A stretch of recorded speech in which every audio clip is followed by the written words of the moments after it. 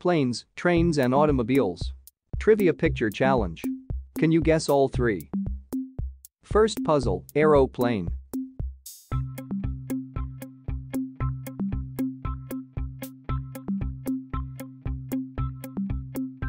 The Airbus A320 is a short to medium-range narrow-body airliner that was introduced in 1988.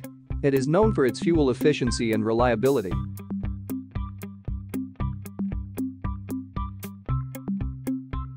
Looks like a train to me, can you guess it?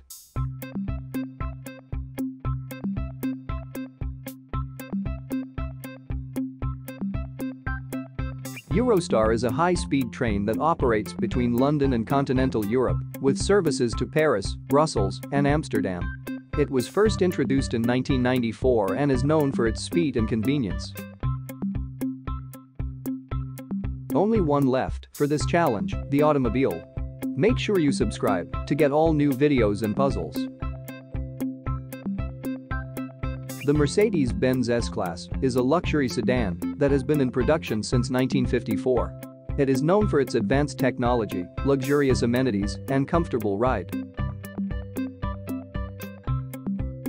Planes, trains and automobiles puzzles and trivia hope you enjoy these puzzles we will be releasing 2 to 22 new videos each day. We also have trivia on fish, celebrities and cats and dogs, something for everyone. Please support the channel by subscribing and hit that notifications button so you don't miss out.